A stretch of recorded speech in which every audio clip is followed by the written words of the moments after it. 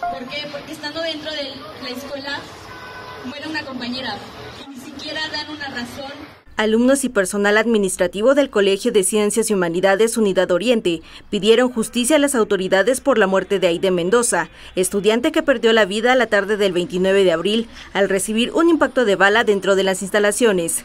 Desgraciadamente fue una situación que, que se salió de, de control y falleció esta, esta alumna. Es la tercera chica que, desgraciadamente falleció.